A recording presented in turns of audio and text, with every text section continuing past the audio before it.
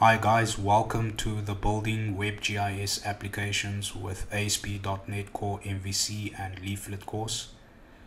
In this course, we will be building a full stack MVC style web application using the .NET Core framework. So the purpose of the application is to monitor the monthly consumption of water in kiloliters by each neighborhood in the Cape Town region. We will monitor the consumption using a choropleth map and a bar chart. So the choropleth map is a collection of polygons and each polygon spans a neighborhood and each neighborhood consists of a suburb group.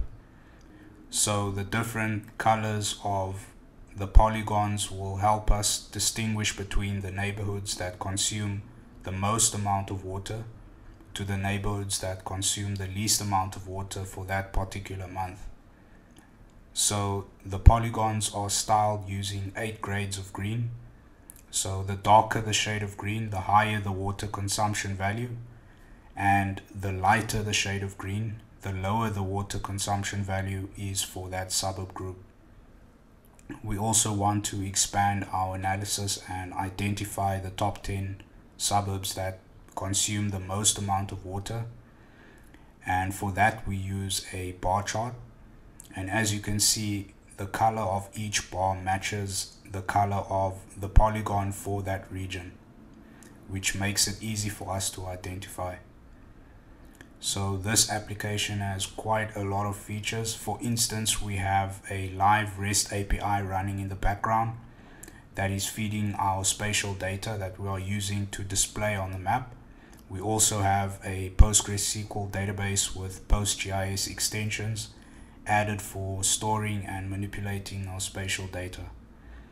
Our table is also in the form of an ORM, which stands for Object Relational Mapper, which uses Entity Framework Core to help us to build model classes and data contexts.